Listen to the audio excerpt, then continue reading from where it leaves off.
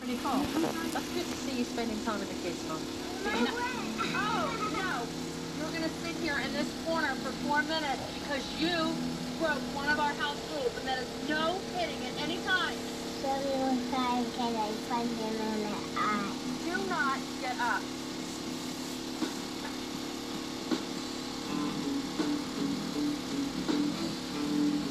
Oh boy, is she trying to test you, Joel? Hmm. Naughty corner, not a playtime. Shelby, you go to that naughty corner right now. Shelby, I am not playing chasing you around this house. Don't engage with her, Mum. Just put her back. To the naughty corner right now.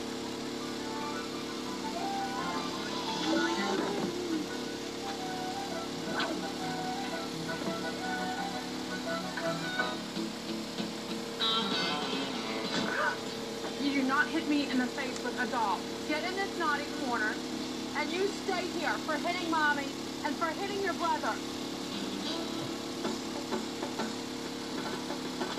Shelby's overriding your authority, Mom. You need to step up and sort this out. You throw one more book, Shelby Marie. Hey, no playing videos or watching TV. Mom, these empty threats are getting you nowhere.